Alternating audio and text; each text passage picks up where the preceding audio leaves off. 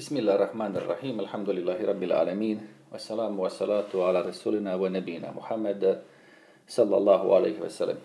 Ovo je drugi dio, znači, sami početak, znači, o sufari, alfabetu, slovima, znači, arapskog jezika, da bi čovjek mogao jeli, učiti Kur'an, ovo je, znači, sami početak, jednostavnije ne može, pogotovo ja ne mogu u ovoj formi snimanja i tako dalje. Pa je sljedeće slovo koje treba da se spomene naše slovo B, odnosno, kažu ovdje izgovara se kao naš glas B. U stvari nije, ono se izgovara tanje nego naše slovo. Znači, kod nas ima da se kaže slovo B, a što se tiče arapskog jezika, ono je slovo ba, ba un, el ba u. A ima brojnu vrijednost broja dva. I drugo je slovo arapskoga alfabeta, znači drugo slovo, drugi moj redni broj. Ovdje znači ono je mekše nego naše, inače skoro sva slova su arapska mekša od naših, a ona što su krupnija, ona su krupnija, pa i ona koja nemaju u našem jeziku. Imaju znači oni i imaju i neko slovo kao naše, a imaju verziju toga slova i krupnije i tanje. Ovdje ba znači tanje, i kod nas se znači pogrešno nakaradno izgovara ovo slovo u nekim dijelima države, neko će reći ono b, znači nema to krupno nikako, a ovo naše b je malo tanje za arapsko b, znači arapsko je malo tanje. Obrati pažnju, znači kad slušaš učače Kur'ana kako se to da primijetiti odmah, jel? Znači ono se izgovara približno našem, tanje i od našega slova. Kaže slova koja smo do sad naučili nisu se spajala sa slovima koja iza njih u riječi slijede, dok slovo b ili ba spada u vrstu onih slova koja se spajaju sa slovima koja slijede u riječi. Ovo slovo kao i ostala slova koja se spajaju obzirom na to da li stoji samo ili se u osnovnom obliku doda jedan potez za spajanje desno-lijevo ili sa obje strane. Ili završni potez radi lakšega pisanja, različito se piše kad je na početku, u sredini i na kraju riječi. I također je rastavljeno ili spojeno. Ovisno od toga ima ove oblike. I to su sad sve oblici, znači što se tiče izgovora ovdje ti ne mogu pomoći. Ovo je znači što se tiče pisanja. Što se tiče izgovora, znači nema se ovdje šta znači moraš pisati. Što se tiče izgovora, ja ću ti pročitati i reći ti, znači evo prvo slovo je znači B, onda ima bi, bu, bun, ovdje znači već na početku 16. stranice. Ovo što se tiče čitanja, mora znači vježbat kod nekoga, ja sam ti naveo kako ti je definiciju, a na, ja ću sve nadograđivati, inšala, davati se komplikovanja i komplikovanja predavanja, jeli? Već ja imam ona, znači, završna komplikacija, ono tamo razni rivajti, kirajti, o tome već imam izbačena predavanja, ali ovdje, znači, sve od početka ponovo. I tako dalje. Znači, ovdje uzmeš, znači, i nastaviš sam da vježbaš. Definiciju sam ti dao, riječ sam ti, znači, ovdje ostavljene, a slovo sam ti počeo, znači samo kombinacija. Ovdje je već kombinacija slova koja si učio. Vidiš ovdje onda piše ebun, onda piše deb, znači sve slova koja si do sad učio, ovo bi drugi dio je bio, ili učila je. Dalje, sljedeće je slovo, slovo t, isto kad izgovara se kao naš glas, znači ono malo je tanje nego kod nas, približno znači naše, a pošto se spaja sa harfima koje slijedu riječi ima ove oblike. Znači ovo T i B je slično samo što je razlika u broju i položaju tačaka. Što se tiče slova ta, ono je znači treće slovo po redu, a ima brojnu vrijednost četiri stotine. Tako se znači piše i na isti kalup znači vježba, vježba znači ovdje te, ti, tu i tako dalje tu su forme, napišeš i da ih prepoznaš i onda, jeli, nemoj da se neko sekira, to je normalno isto ako, ako se sjetiš kako si kod nas učio uči, uči, ili učila, znaćeš isto da se mučio, jeli, mučila se, da naučiš i naša slova kad smo išli u prvi raz osnovne i ko je bio, imao sreće da uči to i prije osnovne škole, znači isto i ovdje morat ćeš se mučiti. Možeš biti doktor nauka iz nečega, ali ovo učiš iznova. Onda opet, što se tiče jeli, našega bosanskog jezika ili bošnjačkoga, Slovo znači th. Ovo znači nema u našem jeziku, ali ima u drugim ovim jezicima, kao što sam rekao, može se koristiti što se tiče engleskog jezika i tako dalje, ovih, ovih glasova znači ima. Inače, ime toga slova je znači, što se tiče arapskog jezika, slovo znači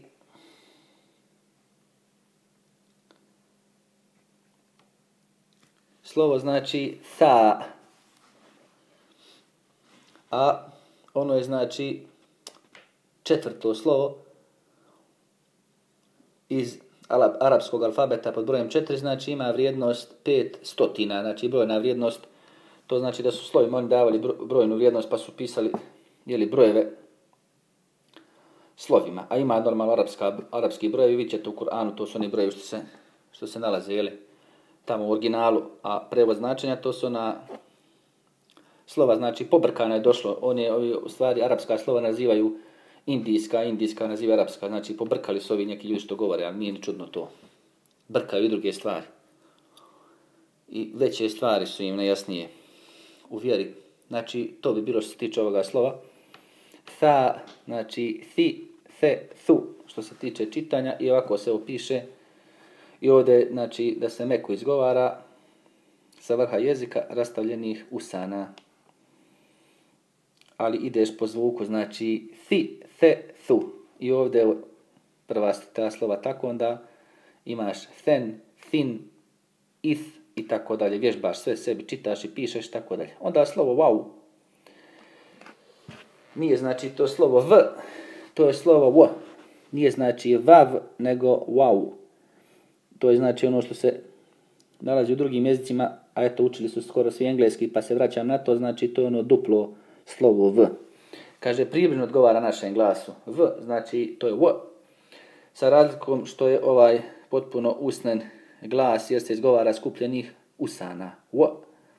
Znači sad ovo skupljenih usana, jer normalno usne se moraju jeli, pomjerati. Tako da nemoj neko da misli da to zatvornih usta se izgovara, znači normalno mrdaju se usne. Pošto se ne spaja sa slovima koja slijede u riječi, piše se samo na ova dva oblika. Znači ne spaja se sa lijeve svoje strane, a spaja se sa svoje desne strane. Pa kaže ovdje u sredini na kraju riječi, znači spojeno, a vamo na početku i na kraju riječi samo i ova slova, znači vježbaš sva pisat, ponovo napominjem, sa desnog na lijevo. S desna na lijevo, isto kao što se kod nas piše s lijeva na desno, onda tako i pišeš i pokušaj da pišeš slova, nemoj da ih crtaš. Ono da slomiješ ruku, da malo brže i to ide i detaljno, znači ovako vidiš gdje, gdje je ovo malo i tanja linija da to uradiš, pa onim perom možda ili suhom olovkom, nemoj odmah možda hemijskom krenuti, jer malo je teže. I onda znači we, we, wu, nemoj da bude the, vi, vu, nego we, we, wu. Primijećete negdje kod Arapa, kod ovih slova, on neće reći we, nego wa. Malo ide na više prema a, nego prema e ali to je sve znači nadogradno, to ćete primijeti kako to kasnije dolaze, kako se izgovara i tako dalje. Onda što se tiče stajanja na ova, na ova slova, to su sve druga jeli, pravila koja više nisu samo, samo čisto jezika, nego i teđvida i tako dalje. I onda samo vježbaš, čitaš dalje. Dalje ima ovo što se piše kao w, u tamo nekim jezicima zove se znači tešdid. Između ostalo kaže ovaj znak za pojačanje zove se tešdid i služi za dvostruko izdogovaranje slova iznad kojega stoji. Kod nas to ima u nekim rijetkim riječima, recimo kao plavo ok. Plavo ok, znači dva slova o jedno do drugo se piše kod nas. U Arapa ovako se piše, znači u arapskom jeziku ima znači ta šeda ili tešdid. Kaže, nikad ne dolazi na početku, nego u sredini ili na kraju riječi. Ne može se početi sa tešdidom, jeli? Slovo na kojim stoji teštid, čita se udvostručeno. Tako da se prvo čita sa sukunom, a drugo sa herekom koju ima. I onda daju primjer, znači piše ovdje, znači rede, rede, pa onda znači red, de, redde, redde. Znači, napisano je, ako gledaš ovdje ovo prvo, napisano je ono što, što bi kod nas rekli, piši kao što govoriš, čitaj kako je napisano, arapskom je to malo drugčije. Prema tome ne pišu oni tako ponovo slovo ovdje dal, znači d, dva puta, nego samo na isto slovo napišu šedu. I pravila kako se izgovara, znači, i onda vidiš, a ima, znači, to logičku, onaj dio logike, jel, što je nauka. Ne onaj dio filozofije, znači, nego ono jezički dio logike, jezički dio, znači, što se vezi za logiku, pa onda to bude naučni dio, znači, redde. I tako sve dalje ideš, baš, čitaš i učiš, jel. Sljedeće slovo, ovo znači nije ni bilo slovo, to bi bio znak za dvostručeno jeli, slovo, ali opet je li sljedeće slovo, slovo n. Znači, izgovara se kao naše slovo n, s tim što su neke nijanse u nekim slučajima malo tanje i tako dalje, uglavnom slovo n. Ili kao što ga Arapi izgovaraju slovo nun, znači ono se zove nun, a ono je 25. pod rednim brojem, a ima vrijednost brojnu ili brojčanu 50. Znači slovo nun, kad se s njim počinje, tako se čita, izgovara se, kad počinje se u Kur'anu ili one sure što počinju sa slovima, izgovaraju se ono kao što prvo kažem da se izgovaraju. Ali u riječi normalno drugčije bude, jel? To mi nemamo, u nas je, kao što sam rekao prošli put, u nas se i piše a i ima znak za a i tako dalje. Arapsko pismo je nešto drugo, znači ova slova imaju i svoje ime posebno, jel?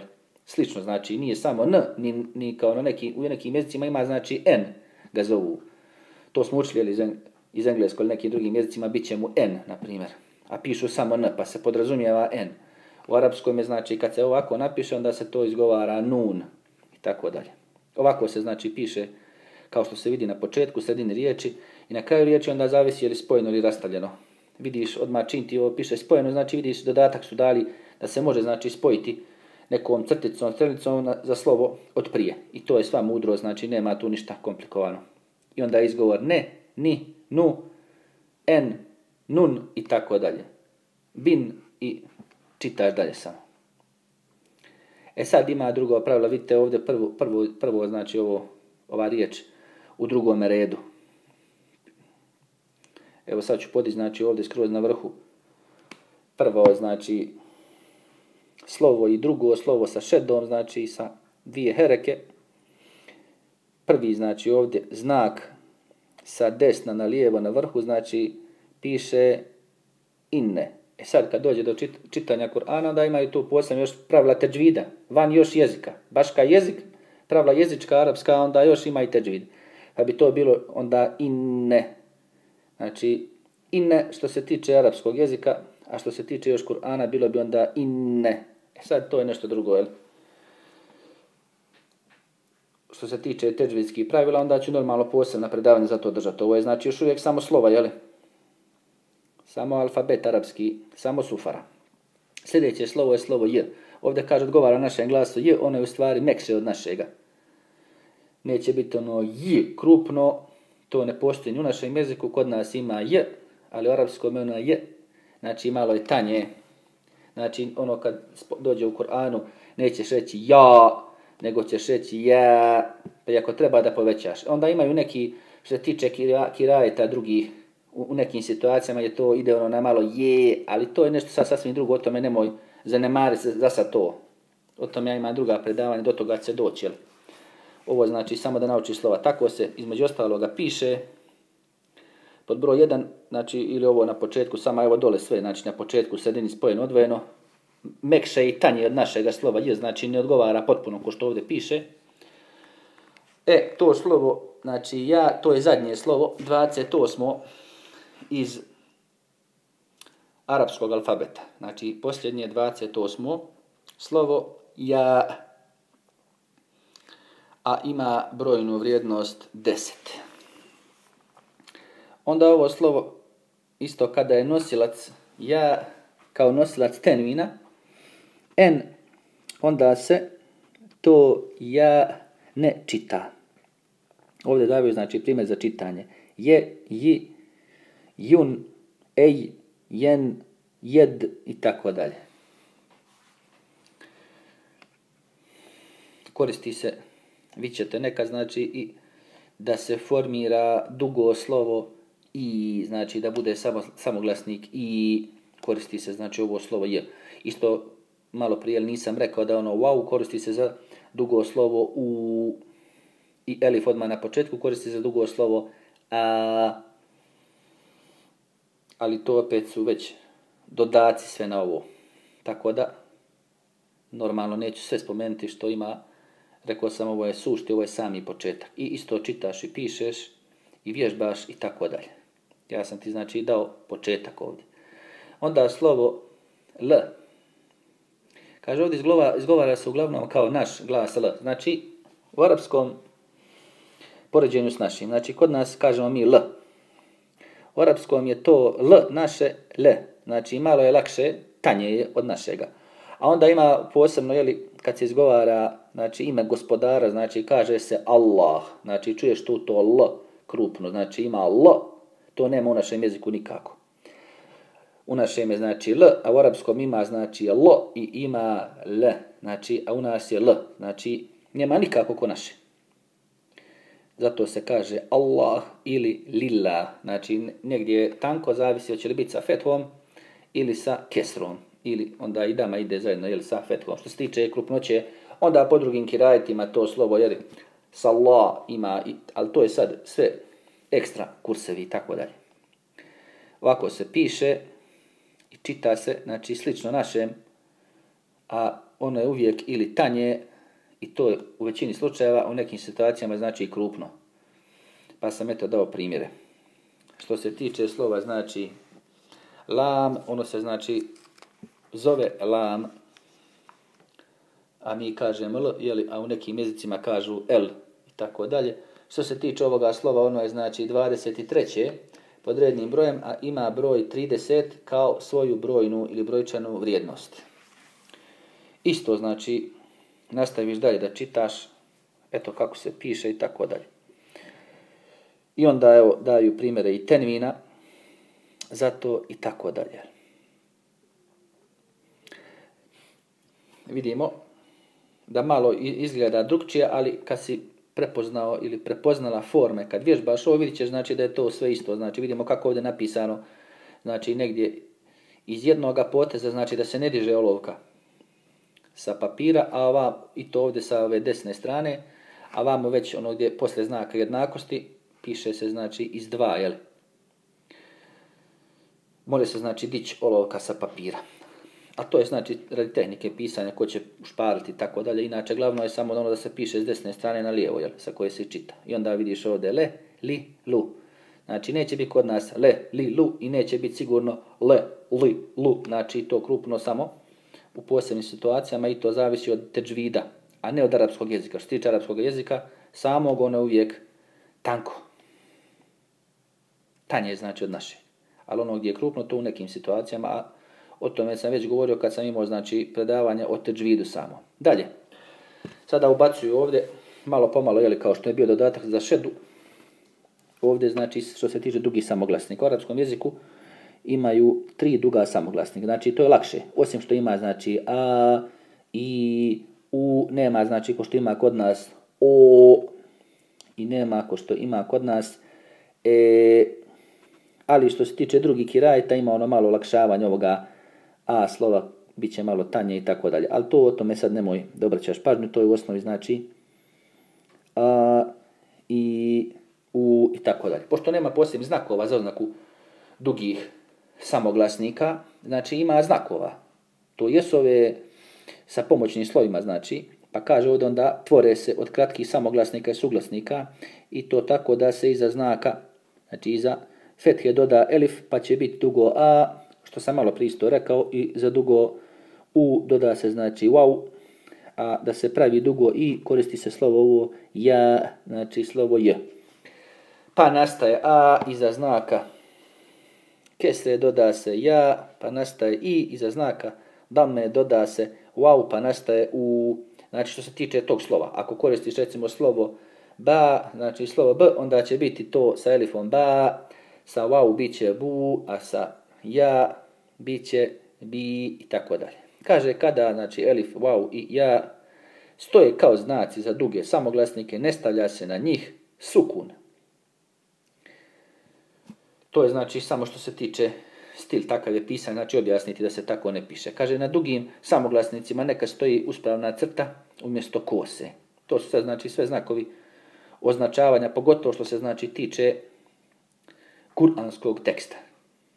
Pošto je to potrebno, jel, jel ne Arapi ne bi to znali, a i mnogi Arapi ne znaju to, jel. To se sve treba znači učiti. Što se tiče dugoga samoglasnika, a vidimo u nekim situacijama, znači osnov je da se on gradi jeli sa, sa elifom, ali u nekim situacijama, znači pošto, pogotovo što se tiče kuranskog teksta, ima znači nekakvih tu razlika, mogu se neka druga slova koristiti. Što se tiče arapskog jezika, to je drugčije, znači Kur'an ima i posebnu svoju gramatiku. Kaže dugi samoglasnik, a ima više vrsta, tvori se od elifa, od wow i od ja. Znači, glavno je ono da od slova elif ali može znači od v i može od slova je također. Ali to što se tiče kuranskog teksta ili posebno. Ovo sad može nekome zvučiti komplikovano to, ali nemojte se sekirati, nije to toliko komplikovano, ali početak jeste komplikovan svakoga za sve, jel? Dalje kaže, dugo a nastaje kada iza fethe dolazi elif ili ja bez ikakvog znaka, odnosno kada iznad elifa, wow i ja stoji mala uspravna crta i ona je napisana, znači prije njega onda dođe slovo. I ovdje sve su znači, slučaja tri date, u tom slučaju kaže Elif, Wow i ja čitaju se kao naše dugo A, a piše se i evo dole su znakovi sve što se tiče pisanja. Kaže ovdje na kraju riječi, pa ispod dole kaže sa dugim samoglasnikom A, čita se bilo koji harf nad kojim stoji uspravna crta, znači uspravna crta to jeste Elif. Ovdje ga odvajaju kao uspravna crta da ne bi se pobrkalo ono sa izgovaranjem, znači da ne bi slučajno ko rekao Elif, ili da ne bi to izgovorio kao bez, znači da je elif u funkciji u stvari samo produžavanja ovdje toga jeli, samoglasnika. Znači ja i to preskočio sam, znači mogu bi reći taj samoglasnik i suglasnik. Znači samoglasnik ono slovo koje se samo može izgovarati non stop, znači nastavlja, znači a, i, u, a ovi suglasnici su ono b, f, k i tako dalje. I sad ima i ne, slovo između toga kao slovo r, gdje ima to ponavljano, čuje se rrrr, donekle se može jel, spomenuti i tako dalje. A kod ovih drugih slova ne bude tako, bude više šuštanja. Ako kaže čovjek s, pa nastavi s, to je malo više šuštanje. Iako bi rekao f, ono f, to nije baš isto kao r. Ali sad ovo je sve ekstra, znači skreće pažnju da, da od toga nešto postoji ima, ali nemoj da se neko sekira, znači idemo dalje. Ako dođeš do ispravne osobe, ja sam tako podučavao, znači, ako ne zna nikako čovjek harfove, znači za tri dana sve harfove ja pokažem, možeš odmah krenuti sa čitanjem, a normalno učiš svakako, jeli, teđvid odmah počneš posle toga da učiš, ali već čitaš slova, vježbaš jedno, jednostavno, jel? Zato ima nagrada, znamo, jel? U hadisima se spominje posebno. Dalje, ovo je znači forme tih pisanja, to ćeš prepoznat Jel? Onda ovdje prva riječ što je napisana bilo bi znači a, wa, jer ako uspravno crticu, eto to sam trebao napomenuti, ovi nisu rekli, znači čim uspravno ovako napiše, hoće reći da je to a, a da ne bude znači samo ono e.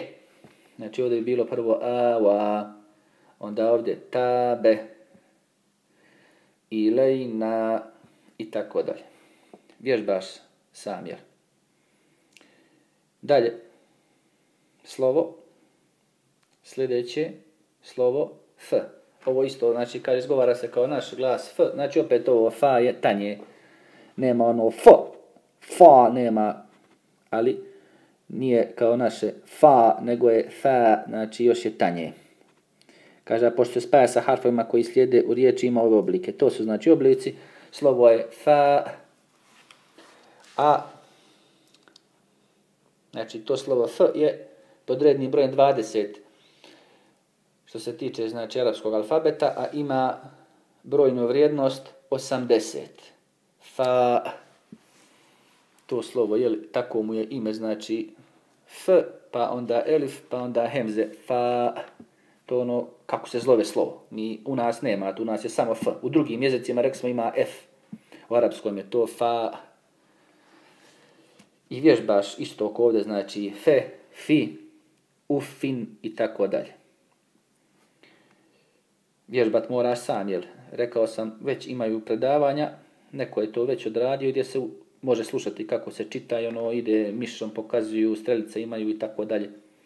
Ja ću do toga doći malo kasnije i ću vrstu predavanja ću o tome držati, ali za sad znači moraš vježbati, ovo ti je pomoć, znači da ništa ne znaš, ovo poslušaš, čuješ jedno, dva put, tri put, nije problem, normalno više puta, onda normalno treba ako možeš doći do, do učenjaka ili do učene žene, znači da ti pokaže da te poduči tome, jel? Najlakše je to uzeti iz usta direktno, jel, kako se izgovara i kako se piše vježbaš sa osobom, jel? Dalje, još jedan dio što su baci, znači spajanje i riječi. U kuranskom pismu ne čitaju se slova na kojima nema nikakva znaka. Ili ako nema nikakva znaka, ne čita se znači ta hereka, jer je nema, nema pokreta, znači nema tu toga samoglasnika. A ili ako napuš, napiše se na nula kao sukun, to je nešto. Onda ima jedna nula ona kao štamparska što se tiče u Kur'anu kad, kad se vidi, ali to je jedna druga vrsta čitanja, to su već satržitska pravila.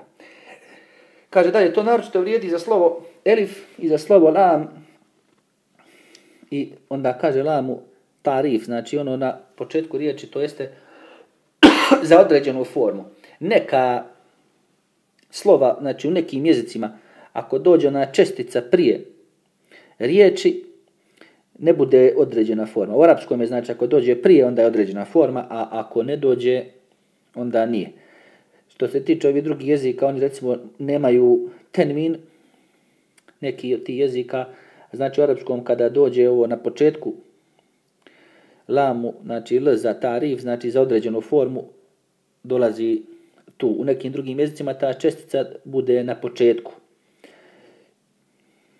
a bude u nekim jezicima, ono kao što, smo, kao što smo učili, ali u engleskom jeziku, to pošto engleski je najpoznatiji svima, pa u engleskom znači ima čestica za određenu formu ili neodređenu na početku svakako. U arapskom je samo na početku za određenu. Kaže dalje, kada su na početku riječi i elif, kada je na početku i na kraju riječi bez ikakva znaka. Prema tome, ovisno od toga da li imaju kakva znaka na njima ili nemaju, ovako ćemo i čitati u donjim riječima. Znači, normalno ovdje ti ne govori, on mora znati ono šemsije, kamerije, koja su slova, ali to je samo sad zato početak, ja ću o tome kasnije govoriti. Šta ti hoće ovdje reći? Ovdje ti on kaže normalno čita se ovako. Napisao ti je, znači čita se e theubu.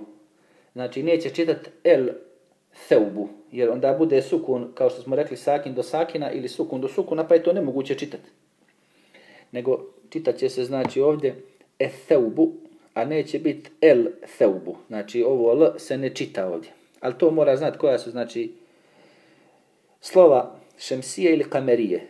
Ondje gdje znači kamerije čita se to lam, to l. Znači ono el kamer, znači mjesec. A gdje sunce, znači a na arapskom je sunce šems, onda se čita es šems. A iako se piše ono el šems.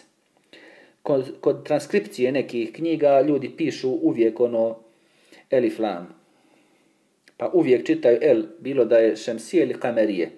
Pa kažu, na primjer, el šejh. Na primjer, rekao je taj, taj šejh u određenoj formi. Ono bi trebalo es šejh, ali ono, pošto obično u transkripciji poznato da je elif lam, jeli, onda ga tako pišu. Ja ovo sad samo malo skrećem pažnju, možda malo previše idem dalje sa strane, ali tako je. I to su ti primjeri ovdje od na vamo, znači, bil, ether, negdje je znači šemsije, negdje je kamerije. Ovdje znači treća riječ, prva kolona, piše znači bidhemb. Bidhemb. A neće znači biti bil. A vamo na drugoj strani, jel, riječ el weled neće biti znači e weled. Neće biti wow sa šedom, nego će se čitati o elif. Ali znači kad naučiš koja su slova, znači šemsije koje su kamerije, to će ti biti lako, jer I onda ćeš se vas zasjetiti neko, neke riječi iz Kur'ana što znaš, onda ćeš odmah prepoznat po tome slova. To isto zahtjeva malo vježbanja. Jeli, dok ne, do, ne toga ne dođe. I ovdje sad su primjer, jel da vježbaš sam, znači. Znači ovdje eteu, onda biteu beti, biteu be, ili biteu beti, Znači, bit će bit teubeti, neće bit bil teubeti. I tako dalje. Znači, sljedeća riječ je ovdje, onda wal lejl i tako dalje. Znači moraš da vježbaš, ne mogu ti tu pomoć, moraš sam to sama, jeli, najbrže ide kod nekoga koji je učen, ko to zna prije tebe, da direktno iz usta uzmeš to najlakše. I tako inače hifs. Najlakše je kad ti ponavlja neko riječ direktno iz usta, zato djeca najbrže nauče i bez zamaranja prevelikoga. Znači ovo ću morati da prekidam predavanje što se meni tiče, ja mogu bi cuga koju na druga predavanja što imam preko sat vremena i odmah, jel, ali da ne bude previše, podijelit ću jel, na više dijelova. Mogu bi još ovo možda spomenuti, ovaj dugi samoglasnik i vidimo da iznad ove crte bude ti neko slovo, a onda bude ovo slovo j koje pomaže da ova hereka, znači ova kesra, da u stvari produži to slovo, ona se sama neće čitati. Pa nadam se da nije previše komplikovano. Uglavnom, dugi samoglasnik i nastaje kada se iza znaka kesre, a kesra je znači ispod toga slova koje hoćeš da produžiš. Doda j, znači ja, slovo. Znak kesre, mala, uspravna crtica, može stajati ispod slova ja, a može i ispod prethodnog slova. S tim da ja nema drugoga znaka. I onda daju ovdje primjere, jel? Na početku, sredini, na kraju riječi. Ovo je znači mnogo lakše nego što zvuči, što se tiče izgovora. Pa ćeš ovdje znači izgovoriti ovo prvo i, ovo drugo bit će bi, ovo treće bit će di, četvrto bit će fi, ovo peto bit će li i tako dalje, vježbaš sam, jel? Sva si ova slova do sad već naučili, naučila, već smo ih spominjali i oni tako i rade ovdje, ne spominjati nijedno slovo napred koje već nije spomenuto. I zaustavit ću za sad ovdje, pa ću nastaviti onda od ovoga sljedećega slova. Subhanak Allahumma wa bihamdik, ashhadu an la ilaha illa anta astaghfiruka wa atubu ilaik.